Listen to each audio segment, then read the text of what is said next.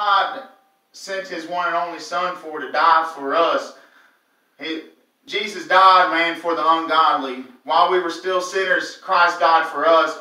Jesus died for the ones who were brokenhearted, who had no hope, who were lost, who were weak, who uh, just needed a Savior but didn't know that they needed a Savior. That's who Jesus died for. He died for the drug addicts. He died for the needle junkies. He died for the prostitutes. He died for the ones who needed help.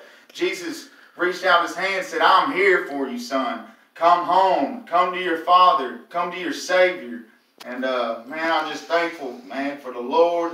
And, um, I love you guys, man. I mean that with all my heart. I know I don't know you guys.